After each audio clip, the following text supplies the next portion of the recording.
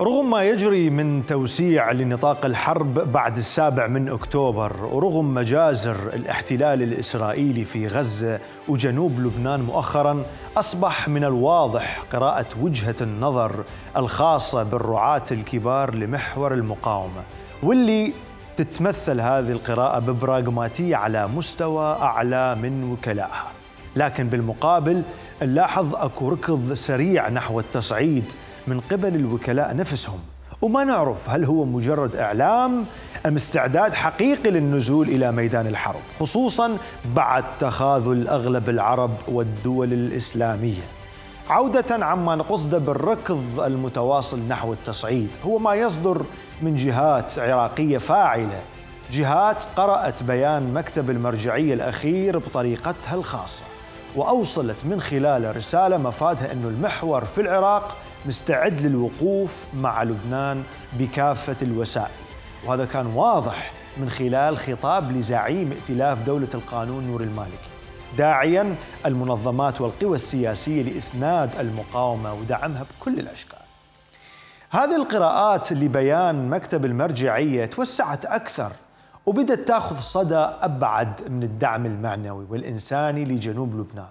وهذا ممكن يوضح أكثر أحد ضيوفنا بحلقة اليوم اللي يبدو متاكدا من أن المرجعية تدعو للنضال المسلح ضد الكيان. شلون قراها؟ من أي زاوية؟ هو راح يجاوبنا. إذا نرجع للوراء قليلا راح نتذكر ما قال زعيم عصائب أهل الحق الشيخ قيس الخزعلي بأنه في حال توسع الصراع واجتاح لبنان برا من قبل إسرائيل فإن التواجد تواجد فصائل المقاومة العراقية سيكون حاضرا. يضاف إلى ذلك استعداد أطراف أخرى من باب إنه هذه الحرب أخلاقية ووجودية إما أن نكون أو لا نكون خصوصا لما تقترب المثرمة على حد تعبير القيادي في كتائب سيد الشهداء عباس الزيدي أما رئيس هيئة الحشد الشعبي فالح الفياض فالرجل أعلن عن استعداد مختلف من المساندة ويبدو أنه لا يرى في التصعيد حلا واقعيا. الفياض يعرف إمكانيات المقاومة العراقية الحقيقية وأنه أي تصعيد يبدر منه هو شخصيا يعرف أنه سيكون مبررا إسرائيليا لاستهداف الحشد الشعبي أو قياداته في العراق. لهذا نأى الرجل بنفسه عن انفعالات المحور رغم أنه جزء تضامني رئيسي من هالمحور. لكن اكتفى بإبداء المساعدة الممكنة على الصعيد الإغاثي والطبي والإنساني. يعني لهالحد وبس.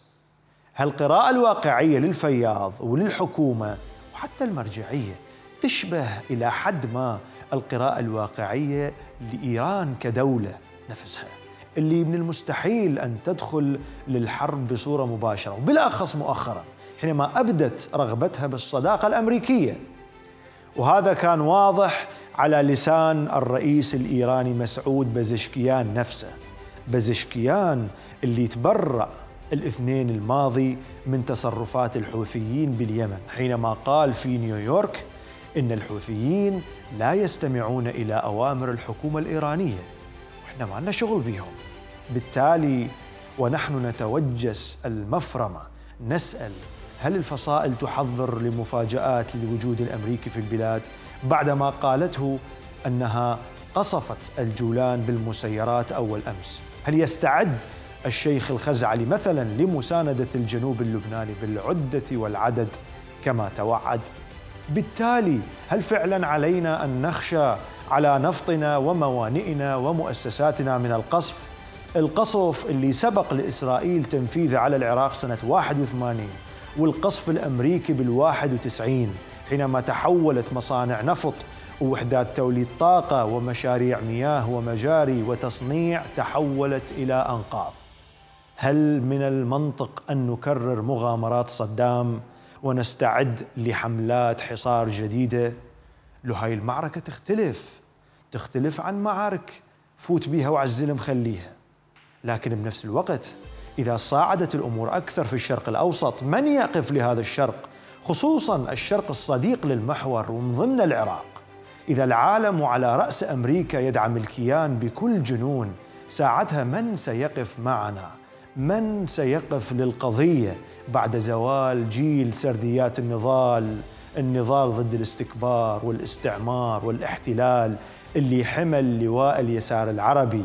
والتوجهات الناصرية والقومية والإسلامية والمسيحية السابقة. هل يخلف المحور تلك الأجيال الثورية ويقطع الطريق على قطار التطبيع؟